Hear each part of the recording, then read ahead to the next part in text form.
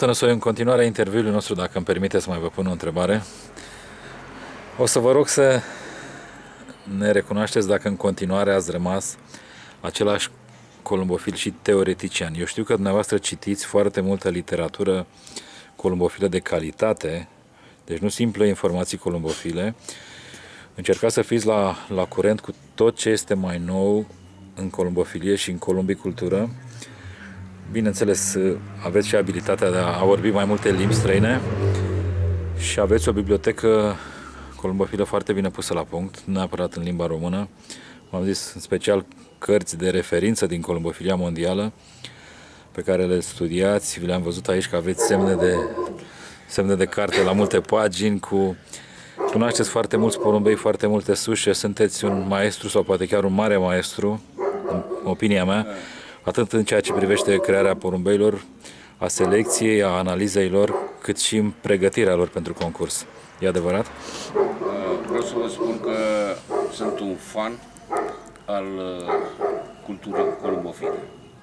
Tot ce apare nou citesc, tot ce mi se pare interesant, caut. Timpul meu liber mi-l folosesc uh, numai în scopul ăsta și încerc să stăpânesc foarte bine un lucru.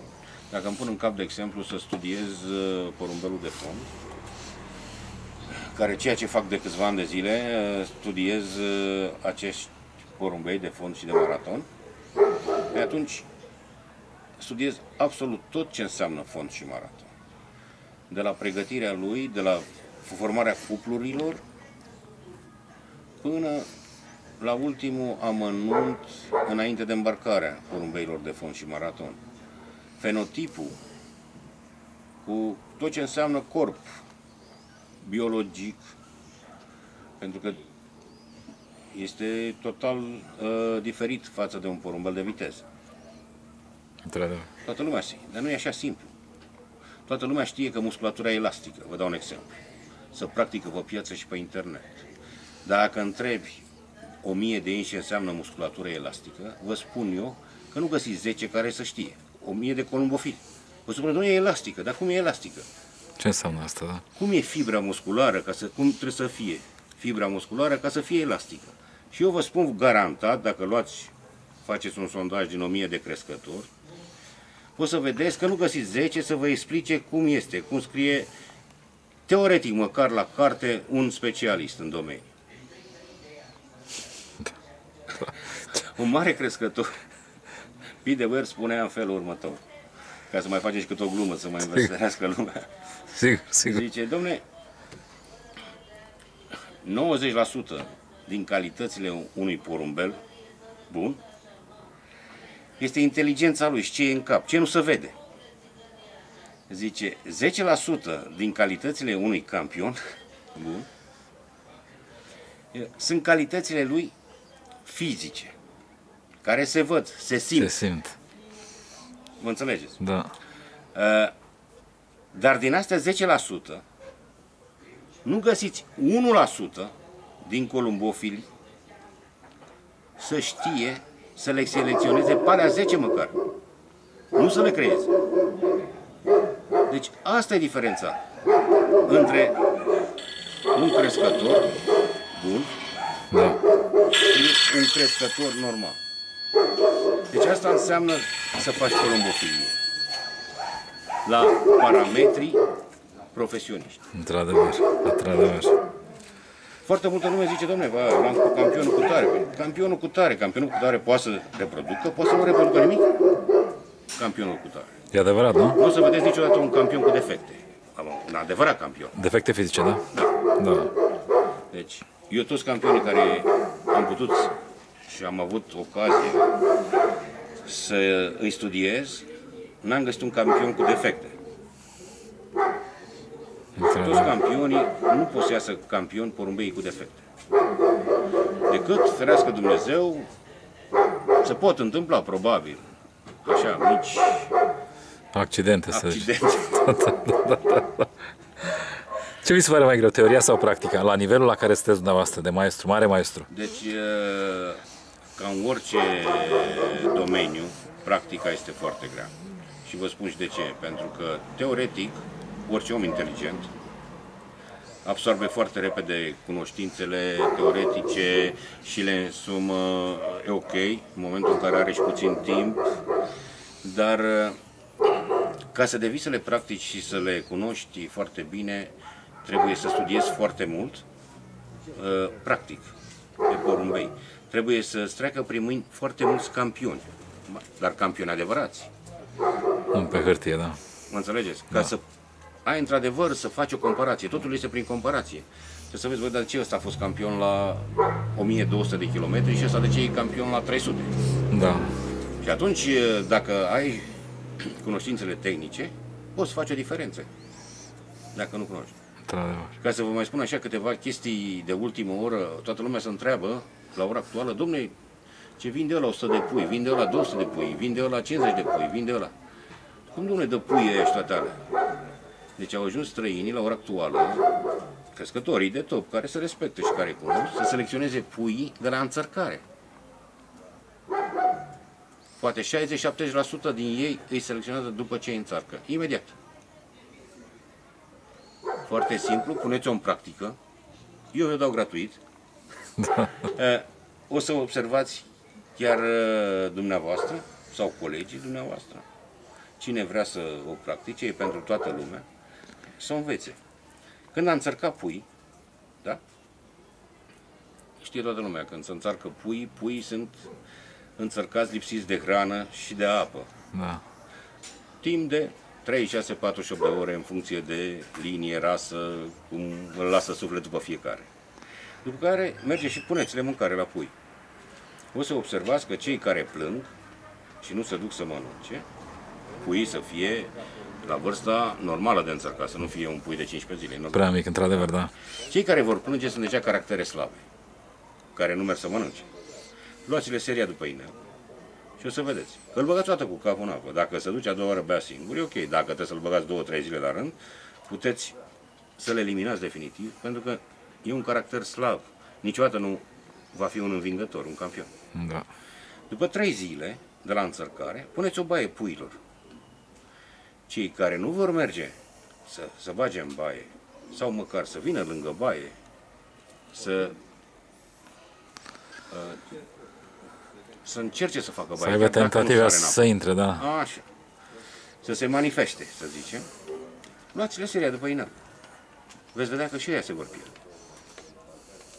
Și multe chestii de genul ăsta pe care foarte mulți crescători nu le știu. Da. Nici eu nu le-am știut. A trebuit să le învăț. Cum le înveți? Studiind, nu? Studiind, dar trebuie să știi ce să studiezi. Le-ați învățat, le-ați mai furat? Cum este? Se mai și fură columbofilia? Uh, columbofilia... Ce părere vreți? Ca să fur columbofilie trebuie să știi ce să fur. În columbofilie și trebuie să știi de unde să o iei. Da. Deci trebuie să știi de unde să o iei. Trebuie să ai timp. În, în străinătate foarte puțin poți să, să fur columbofilie, să zici, decât să fii prieten foarte bun cu cineva, să fii toată ziua la el și să vezi ceea ce face. Și să și spună, să-ți dezvăluie totul. Să-ți dezvăluie totul, nu, dar să vezi dar trebuie să înțelegi ceea ce vezi în primul rând. Pentru că dacă nici asta nu poți, atunci e foarte greu să înțelegi columbofilia. Da. Uh, nu. Trebuie învățată columbofilia. Și columbofilia trebuie învățată de la oameni care, într-adevăr, știu ce e columbofilie. Ea este mai dezvoltată, oameni cu cunoștințe bine puse la punct, sau, acum, mai ales acum, este foarte ușor o găsești pe internet. Numai că și pe internet trebuie să faci o selecție în ceea ce vrei în ceea ce, să da. cauți. Deci, este foarte simplu, ai toate datele de la A la Z pe internet, pentru că asta e internetul, nu?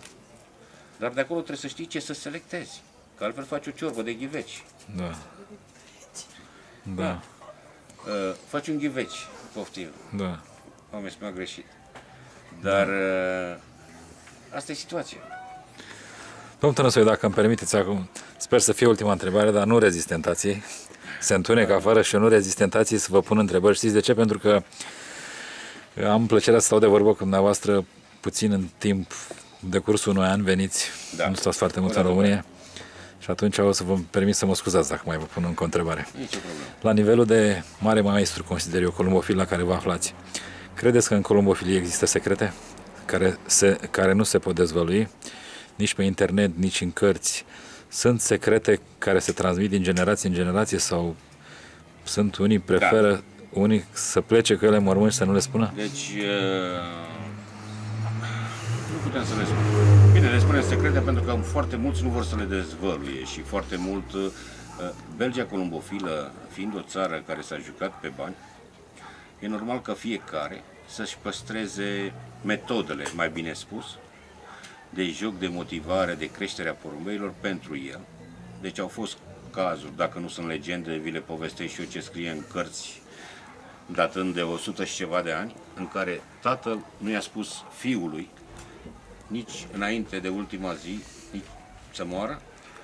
Dacă fiul l-a întrebat, tată, spune ceva care? despre da. ce făceai tu, nu i-a spus, a luat totul cu el, cum ar veni.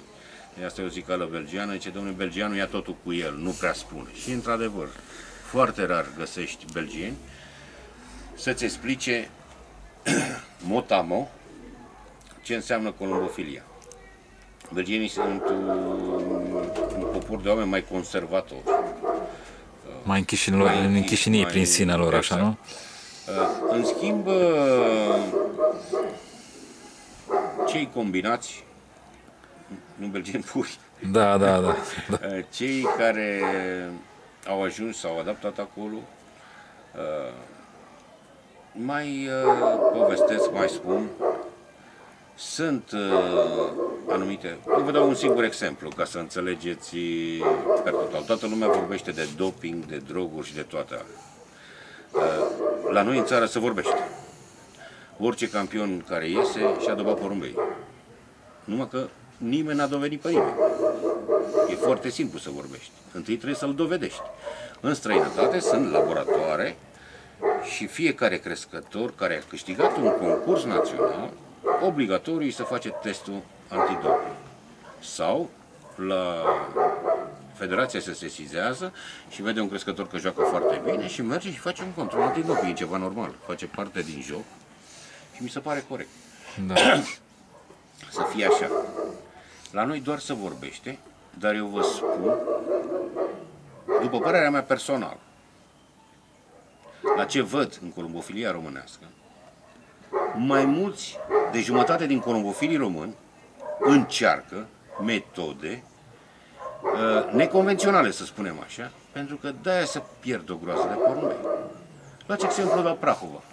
Au început cu 40 ceva de mii de porumbei la prima etapă și termină într-o mie de porumbei la ultima etapă. Da, e un lucru care... Din, din dorința de a câștiga, de a face performanță, orice om crede că dacă îi schimbă benzina porumbeiului, înțelegi? A ieșit și campion. Îi pune cherosen în loc de benzină de exact. 99. Nu se întâmplă așa. Uh, este un lucru foarte simplu. Dacă era toți doctorii din România îl făceau și erau toți campioni. Într-adevăr. Din păcate n-avem decât doi doctori campioni. Unul la Mizil, care este un super columbofil, domnul doctor Crăciunescu, și mai era la București domnul doctor Stănescu, care are 200 de doctori. Ah, mă înțelegeți? Da. Cam atât. Restul, eu nu mai văd al doctor să fie campioni. Mă bucur că ați ajuns cu răspunsul aici, pentru că în perioada în care dumneavoastră ați fost managerul general al uh, crescătorii Emis Simion din București și rezultatele erau cu totul și cu totul excepționale. Eu trebuie să vă recunosc aici, public acum, da. că ați fost uh, acuzat de multe ori, eu personal am auzit, că dumneavoastră dopați porumbei. De ce spun asta? Pentru că aveați etape, personal am participat la mai multe, în care porumbei pregătiți de dumneavoastră soseau de la concursuri și nu neapărat de la viteze, distanțe mici de 100-200, și de la distanțe mari. Soseau asta acasă cu stolul. Da. Deci cine venea și îi asista la sosire avea impresia că porumbeia de fapt au fost la un antrenament undeva la 5 km, la 10 și am asistat la sosiri în care în, în interval de 30-45 de secunde intrau pe ceas 60-70 de porumbei. Adică primele două, trei pagini din clasament erau ocupate numai cu porumbei tandemului Simeon Emil plus Marian Tănăsoiu. Da, domnule, e adevărat. Ați dopat porumbei vreodată? Porumbei nu i-am dopat niciodată, pentru că porumbei, dacă îi dopezi, termin cu porumbei. Una la mână. Oricând putea să vină oricine să facă un control la porumbei uh, de rutină. Chiar i-am și invitat, pentru că foarte mulți mi-au zis și mie, domne, dopesc porumbei, i-am spus oricând poate să vină orice laborator din țară sau din străinătate să verifice porumbei Da. și aveți dovada clară, dacă pe mine nu mă credeți. În schimb, eu v-aș ruga să, să-i contactați pe băieții care au lucrat cu mine, nu pe mine. Pe cei care au lucrat acolo, efectiv, în crescătorie, să-i întrebați pe ei la ce oră se trezeau dimineața și vă spun eu, la ora 3 de dimineață erau la crescătorie. Așa începea o zi de muncă în crescătoria lui domnul Simion, uh, bunul meu prieten și nașul meu. La 3 de dimineață se începea ziua de muncă în crescătorie. La ora 5 de dimineața, porumbeii erau deja pe locul de lansare. 5, 5 și jumătate. Deci pe locul de lansare. Uh, Pe lângă întreținerea, por- calitatea porumbeilor, nu mai zic, crescătorie, întreținerea lor, deci profesional, de la mâncare până la ultima vitamină și absolut tot necesarul se făcea prin import direct din Olanda, de la niște cunoștințe de ale mele, bineînțeles, niște prieteni de mei, Așa. După recomandarea mea, bineînțeles, a produselor care trebuiau luate de acolo, deci sunt produse care se vând în magazinele de porumbei. Dacă nu puteți să-l întrebați și pe domnul Marius Andrei, care la recomandarea mea a început să aducă produse în 2002, toate produsele care le-a adus domnul Marius Andrei, dânsul știe foarte bine și vă poate chiar recomanda din acele produse, da. pentru că sunt produse foarte bune. Uh, Întrebați-l chiar pe domnul Silviu Glodeanu, care a fost managerul crescătoriei, începând de 2009, personal, lucrează cu mine. Să vă spună dânsul personal. Pe domnul Simeon Emil să-l întrebați. Toți acești ani au lucrat împreună cu mine. Ce am făcut eu acolo, am făcut totul profesional. Erau șapte zile din șapte, de duminică până duminică. Și sezon și extra sezon. Și sezon și extra sezon. Fără concediu, fără nimic. Numai așa se poate ajunge campion. Mergeam la culcare la ora 1 noaptea. De multe ori la 3 dimineața eram în picioare. Deci foarte, foarte multă muncă. Foarte, foarte, foarte multă muncă, foarte multă selecție a porumbeilor. Și, bineînțeles, programul care îl făceam, porumbei de concurs, porumbei de matcă, pui, absolut totul se făcea profesional. Aveam și condițiile, domnul Simion ne-a asigurat absolut toate condițiile pe care putea să le avem pentru a face ceva profesional. Și eu vă spun, garantat, că se poate. Și vă mai dau două, trei exemple și de ce vă spun că se poate. Vorbiți cu domnul Trăistaru, Valentin din Valentin, Comarnic, da? de la Comarnic. Să vă spună dânsul, uh, înainte să mă cunoască pe mine, cum juca, după ce m-a cunoscut pe mine, cum a început să joace. Pentru că e un om foarte corect, un crescător bun și a ajuns să facă un sport care și- îl iubește ca toată lumea, dar să-l facă cum trebuie. Întrebați-l pe Jiloveanu Marian. Și el a ajuns campion. Întrebați băieții de la Băicoi, pentru că băieții de la Băicoi, tot clubul Băicoi și în împrejurim, întrebați băieți din Câmpina, s-au distribuit programe de zbor și de medicamentație făcute la calculator, ca manifestele.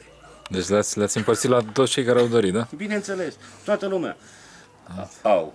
Vor să recunoască sau nu, nu știu ce vor face. Ce n-ați putut Toată să... lumea au primit da. porumbei cadou. 78 de bucăți, porumbei zburați cu palmaresuri, au fost dați cadou din crescătorie în anul 2007, când am plecat definitiv în Belgia.